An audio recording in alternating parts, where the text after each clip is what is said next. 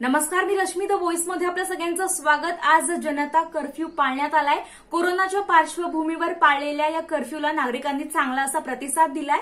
तर तिकडे नांदेडमध्ये या कर्फ्यूच्या पार्श्वभूमीवर काय परिस्थिती आहे आमचे प्रतिनिधी गौतम कांबळे यांनी आढावा घेतलाय. पाहूयात.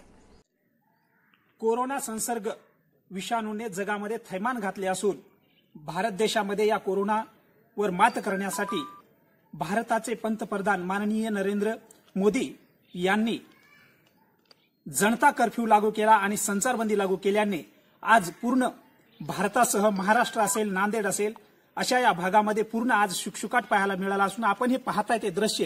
हे पहा रोडवर कुठलीच एक व्यक्ती दिसत नाहीये आणि कुठलंच काही दिसत नाहीये. पूर्ण पूर्णपणे शुकशुकाट पाहायला मिळत आहे. त्याचबरोबर महाराष्ट्रातील काही रेल्वे सुद्धा बंद करण्यात आलेल्या आहेत. त्या अनुषंगाने आपण पाहू शकता रेल्वे स्टेशनवर देखील असा सुकसुकाट पाहायला मिळालेला आहे. Video जर्नालिस्टसह Gautam Kamble the voice news Nanded.